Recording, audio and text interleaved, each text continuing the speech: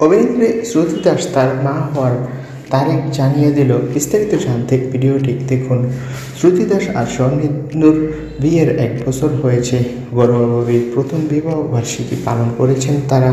এমনকি কিছুদিন আগে স্বামীর সঙ্গে মিলে ফ্ল্যাট বাড়ি কিনেছেন অভিনেত্রী, যেখানে দোতলায় তার বাবা মা তিনতলায় তিনি আর স্বর্ণেন্দু থাকবেন। সম্প্রতি দিদি নম্বর ওয়ানে খেলতে গিয়েছিলেন শ্রুতি দাস। আর সেখানে রচনা তাকে জিজ্ঞেস করেন, কবে মা হচ্ছে? আর এই মঞ্চে দাঁড়িয়ে কবে শ্রুতি সন্তান নেবেন? সেই তথ্য ফাঁস করেন।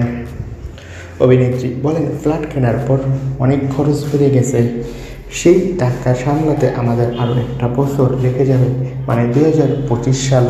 আর সন্তান নিলে তো অনেক খরচ। তাই আমরা চাচ্ছি যে দুই সালে সন্তান নেব। তো বন্ধুরা, স্বর্ণেন্দু ও শ্রুতি দাস দুই সালে সন্তান নেওয়ার পরিকল্পনা করেছেন।